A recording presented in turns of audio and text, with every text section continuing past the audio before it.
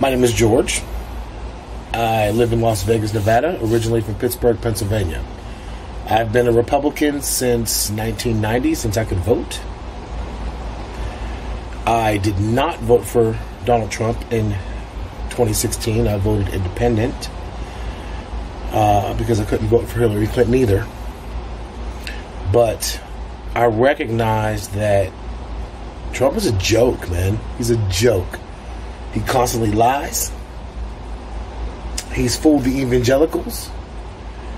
He sends troops to attack our own citizens, and all he does is fearmonger in order to, to, to, to get a vote. All he cares about is ratings and a vote. We don't we, we don't we don't have a president. We don't have a president right now. We have somebody in office wasting our time. T- the time for lies is done, Donald. It's over.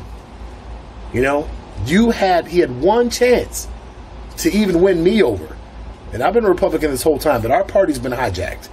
It's not the Republican Party anymore. This is not the Republican Party anymore. This is something completely different. But he had one chance, one chance. This pandemic could have proved to me that Trump could have been a leader. But he messed that up too. Because he don't want to hear the truth. Anytime somebody tells him the truth, they're an idiot. They're they're they're they're they're dumb. They're he call he just doesn't you know regular bullies try to call people names all the time. You know, an, un, an unintelligent person talks bad about somebody but doesn't fix a problem. He can't fix anything. Anything. I mean, the man is so dumb he can't even fix his own campaign. He could have turned this around. It's too late now, man. I don't want to hear nothing from you.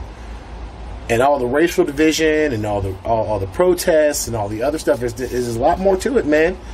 Donald Trump could have handled this. America could be great if we had a leader in office. This year, I'm supporting Joe Biden. I'm comfortable with that. So, as a Republican voter this time, I will not be voting for Donald Trump. This year, we need to vote as if America depends on it, because it does.